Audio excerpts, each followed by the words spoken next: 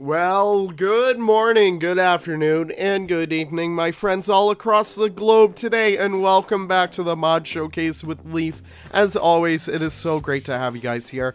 I'm just gonna assume I'm at like 4999 right now, but by the time that this comes out on Sunday, we're gonna have hit 5k, and I cannot thank you guys enough for all the support over the past year. You guys have been absolutely amazing, and I cannot thank you guys enough. But with all that being said, this is the first mod showcase of 2022? 2023? I don't know. Time just moves by so weird. 2022, hell yeah. So, with all that being said, I just wanted to give a huge shout out to every single one of you guys at home, all 5,000 plus of you guys. I wouldn't be doing this every single week if it weren't for all of you at home. So, I just want to say thank you so much for all you guys supporting me. I love you guys, and it's just been a total blast. But hey, let's celebrate with some wonderful new mods, shall we? Now that we're going to start off with not a new mod. This is actually an older mod. This is an update to the Palm Pack by Nicholas Lion Rider, but also in conjunction with NDP. These were originally commissioned by NDP, well, for NDP, by someone else. But unfortunately, that kind of fell through. But in the meantime, we got some wonderful new props in the spoils of that reap of what they sowed. So with all that being said, let's jump in and check these out. Number one with the Areca, Areca Palm. Yeah, so these guys are based off of the Lipstick Palm. I'm just going to check these guys out in here. These guys originally were kind of bright, kind of red, but the Areca Palm are so much more subdued and perfect for little tropical areas, kind of like over here for this mod that we'll get to in just a little bit. But with all that being said, these guys are wonderful, a lot more, more like less subdued, I guess that kind of makes sense, a lot more efficient for more tropical areas, and just a wonderful way to get some more green into your parks. But moving on through there, we have the Golden Bamboo, probably my favorite props in this entire set. These guys are based off of the Bengal and Fountain Bamboo from the original base game, and they just look absolutely insane for the most part. These guys are wonderful when it comes to making your Asian areas, and I can't recommend these guys enough. They are perfect and beautiful and bountiful, and all of those wonderful adjectives that go along with that. We also have some wonderful fever trees as well. We're just going to breeze through them right here. We have the dry fever tree, which is a little bit more of a dead version. Unfortunately, this one has some kind of messed up lods, but I believe they'll fix that soon enough. But over here we have the two working ones at least. These guys are perfect for more so dead areas. If you have like a zoo in the dry season, these guys are perfect for that. And we also have the green fever acacia trees. These guys are a lot more brighter than our normal acacia trees. So if we look up acacia, or if we actually look up yellow, this is, or fever. I honestly forget what they're called. These guys are a lot more yellow. They have these kind of whitish spots on them that I don't really like, kind of like the thorns. But these guys are a lot better when it comes to that. They just feel a lot more natural, and I really do appreciate that. So with all that being said, I hope you guys enjoyed that the first four minutes were about props. But hey, moving forward, we have some really badass animals in here. Starting first and foremost with the Acrocanthosaurus. Oh my gosh. Sib has been going wild with porting a dino into Planet Zoo, and it's just really awesome to see him do all of this. First and foremost, the Acrocanthosaurus is a beautiful theropod. Look at these guys. Look at their teeth. They look kind of goofy, but they look kind of badass too, which I really do like. I love the orange skin that Sib chose for these guys. They look really awesome. And you may be wondering, hey, what the hell is this even based on? Well, if you guys can probably hear the howling in the back, this is actually based off of the Arctic Wolf. I know, a little bit of a weird choice, but check out how these guys move when they walk it's actually the perfect choice because their walking cycle is really, really amazing when it comes to all of their animations. I mean, just look at them go kind of like that. It's really amazing. I know we don't have any theropod accurate rigs in the game, unfortunately, but the Arctic Wolf serves as a wonderful little rig when it comes to all that stuff. So if you guys are hoping to get a little bit more dinosaur action, the Acrocanthosaurus by Sib is a wonderful one at that. Also, just a couple of things to note before we continue on here. Going back to the Season 2 showcase map, I really do like this map just for the most part. And it's so much easier than making a whole map from scratch. So I hope you guys don't mind if we go back to this one. Plus it already has all the water areas already populated. Gotta give a huge shout out to ZZ for all the corals over there. It's just so much easier and I love this map so much more. And also, I am still sick. I do apologize if I sound a little nasally. I got a little bit of a little sinus congestion issue if you guys are okay passing up on that. But I hope you guys do understand me when I just want to make the most amount of videos for you guys, but also trying to, you know, stay safe and stay healthy. But hey, let's talk about the crane. Oh my gosh, so Bongo Hardwood has been going wild with the cranes. First it was the Brolga, which was amazing. But look at this, the Red Crown Crane. Now these guys are an Asian crane. These guys are found in Roger Williams Park Zoo, which is always a plus. But look at this, they're so beautiful. They actually do have some very special animations when it comes to feathers. So when they do mate and do stuff like that, they will actually outstretch their wings. I'm not sure if we could kind of see any model parts of them in there. We really can't. But they look beautiful when they do it. Check out the Nexus page linked down below in case if you guys do want to see that animation. But with all that being said, Unique Baby, looking beautiful as always. Bongo, you literally have my heart, my good friend. Oh my gosh, when I come over to England, I'm buying you a friggin' cider or beer or whatever the hell you drink because you've been blessing our game so much recently. But moving on through here, we're going back to another avian species. Haha, get it? Um, this is the Velociraptor. Ported over from JWE by SibCDC. As always, check out the male right here. Oh my gosh, he seems so scary. But these guys do have unique females and males and babies as well. Look at the little baby! Look at that little animation! Oh my god, I love that. But with all being said, these guys are really cool. They are based off of the Arctic Wolf. As I said before, these guys are going to use all those habitat and enrichment items and it's just really awesome to get a lot more carnivores in. I know people may feel a little bit overwhelmed with all the herbivores that Sib ported in, but it's just really awesome to see Sib move on. In these little sections, it's always great to see that. So the Velociraptor is a very, very welcome choice. Sib, if you're listening, buddy, I hope you'd port over the original Jurassic Park 1 Velociraptor. If you don't, I would very much love to do that myself. That's definitely my favorite version of the Velociraptor. And hey, listen, I can't I'm just happy that you were able to bring these guys in. But with all that being said, we're gonna part ways with our little Velociraptors and move on. We're actually gonna check out an aquatic aquatic pack animal. Yes, we have the Diamondback Terrapin as our next mod. You may be saying, hey Leaf, I thought that's already in the game.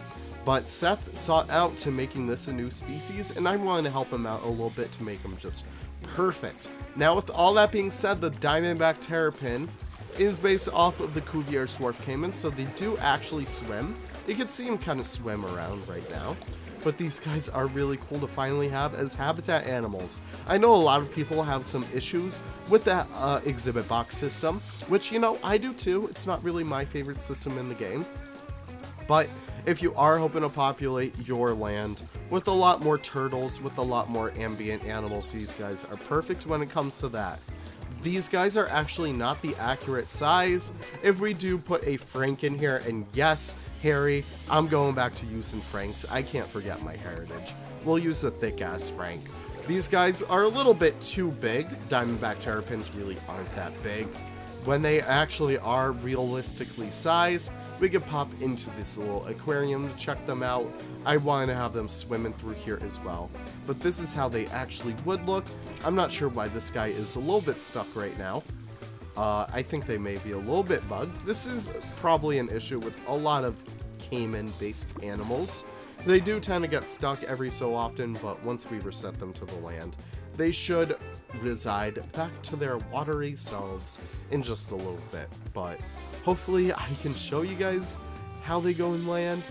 But with all that being said, we'll check that out in just a little bit. I gotta show off our next beautiful creature. This one is the Dryosaurus. These guys are my favorites. If you guys have seen my Jurassic Park, like Jurassic World Evolution rating video, these guys are like in their own category all the way on the top because they're my favorite. And of course, Sib had to port these guys in, and he did such a wonderful job at doing so. They are based off of the Aardvark, fun fact, so they will actually burrow. Uh, hopefully we can see this guy burrow in a little bit. Yeah, they kind of do burrow but it's not really the best for the adults, so maybe we could actually see maybe a little bit of a burrow mod. This is actually not the worst. It's a little bit cramped in here, but I've seen better. When the juveniles actually do burrow, it actually works so much better. In fact, I'll probably do that right now. I'll actually move the juvenile over to the Albertosaurus exhibit, and we could check out the Albertos in a little bit. But let me actually select these guys and not the plants. Let me just delete all that. Who even cares about the foliage? Albertosaurus! Let's look at these guys. Holy crap. Sib, I love you. Oh my god. I love how many theropods you're bringing into the game. And look at him run. Oh my gosh. Again, these guys are based off the Arctic Wolf, as always. They will be using all those animations and habitat enrichment items. The Albertosaurus is a bit more of a colder-blooded theropod, not colder-blooded, but they preferred colder weather. They're found in mainland day, main day Alberta, Canada, specifically. So these guys are pretty badass. You often see these guys in JWE videos having a lot more colder exhibits. That's an adult. I don't want an adult. I want a baby in there just so I can show off. But actually it seems like all the babies kind of grew up. Hold on. I'm sorry guys. I gotta show off the burrowing. Actually, maybe not. Nah, never mind. You guys can see pictures of it when I post them on the forums or something. But these guys are badass. But yeah, we must move on as always. We have a lot of other awesome mods to check out as well with the Eastern Wild Turkey. I do apologize if I'm a little frazzled right now. I've recorded this once before, and of course I wasn't recording the gameplay, so I apologize if I am rushing through this a little bit too fast. But with all that being said, these guys are badass. So Rihanna obviously brought in the Australian brush turkey. She also brought in the ocellated turkey, and now Narwhaler has completed the trifecta with the Eastern Wild Turkey. These guys are beautiful. Even though Narwhaler is Spanish, he knows the American spirit. He knows what we're on about. And these guys are perfect. He even did the dewlap pretty damn well. Look at how it's animated. It wiggles too. I'm just amazed at that. Amazing job, Narwhaler. The train looks beautiful as well. I have no clue how you were able to do it, but it looks so beautiful. This is frontier quality right here. But amazing job, Narwhaler. Of course, there's babies and females as well. But listen, we always care about the male. This guy looks badass, alright? But as always, we must move on. With the biggest and baddest for last. Yes, we have the Spinosaurus. Now, even though it's not a paleo accurate one, I still do love the Jurassic Park 3 brand of Spinosaurus so much, and these guys are menacing. So I'm just going to face this guy in the right direction so we can see them. They are based off of the Arctic Wolf, I feel like I always got to reiterate that, but these guys look so bad ass. The baby is even unique too, it has its own unique sail and some unique differences. I think the face is a little bit smoother as well.